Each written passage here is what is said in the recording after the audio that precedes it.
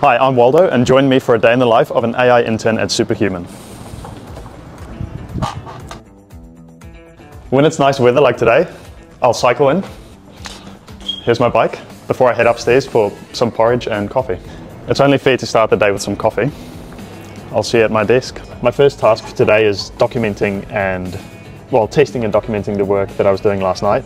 Um, my first task since being at SupaHuman is um, creating an agent that can generate assessments.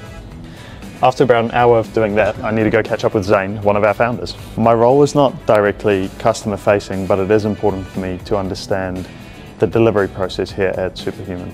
But after lunch, I'll go for a walk with my colleagues because um, it's good to balance the work we do indoors with the fresh air outdoors. So We'll just go find the SupaHuman yacht and um, go out for a ride. One of the last things before I hop on my bike again is our daily stand-up where I catch up with my team about what I've done today. Well, I hope you enjoyed that. Uh, I would say today was a pretty productive day. Uh, see you next time.